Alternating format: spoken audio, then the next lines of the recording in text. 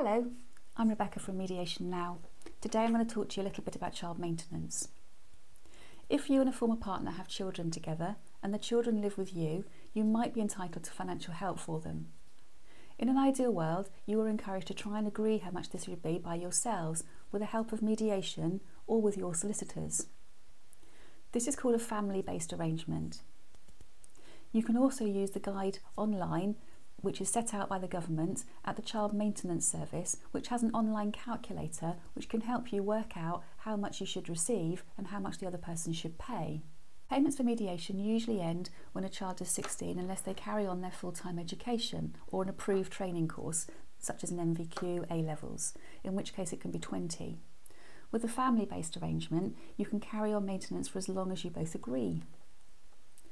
If you can't work this out together, you have the option of asking the Child Maintenance Service for an assessment.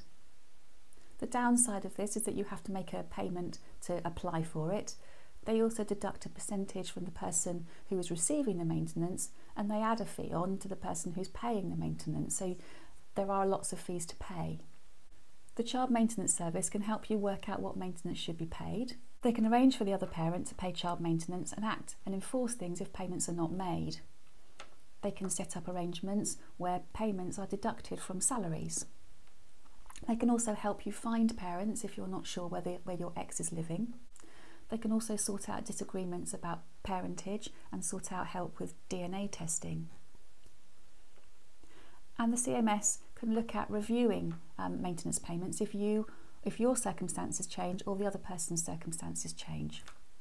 There's nothing to force you to use the child maintenance service or to carry on using it and, and at any stage you can withdraw a claim and you can enter into a family-based arrangements between yourselves. The basic formula for calculating child maintenance is that if you earn a gross, that is before tax and national insurance are deducted, weekly income of between 100 and 200 pounds, then maintenance is calculated at a flat rate of 10 pounds per week for the first 100 pounds of income plus a variable percentage of the balance between £100 and £200. If you're the parent who doesn't live with the children and you receive benefits such as universal credit, income support or ESA, you will normally pay a flat rate of £10 per week.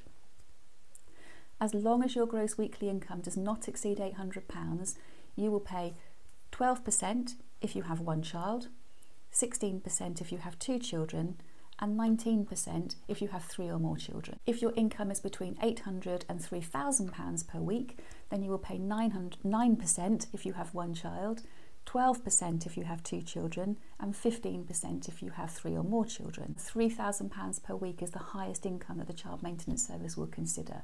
That's the cap. That's just a rough guide. The basic calculation assumes that a child stays regularly with the other parent and if your children stay overnight with your ex, then the total they pay might be reduced. If they stay one night per week, then it's reduced by one seventh and so on. When children spend an equal amount of time with each parent, it, it, it's possible that it could result in no maintenance being paid at all. The important thing is to carry on talking to each other, try and use mediation, and try and come to a flexible family based arrangement.